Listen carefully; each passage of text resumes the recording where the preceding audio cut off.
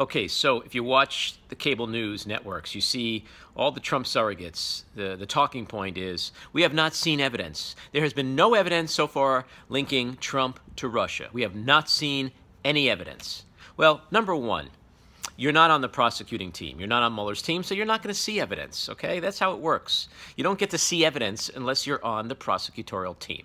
You will see the evidence when the prosecutors release the evidence, which is what they did today.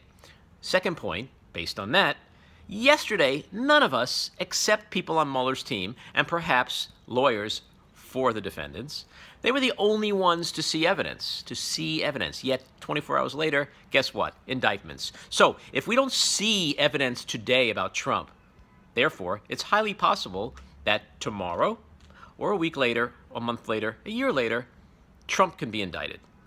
So I wish these hosts on, on the cable news networks would just put this ridiculous talking point down.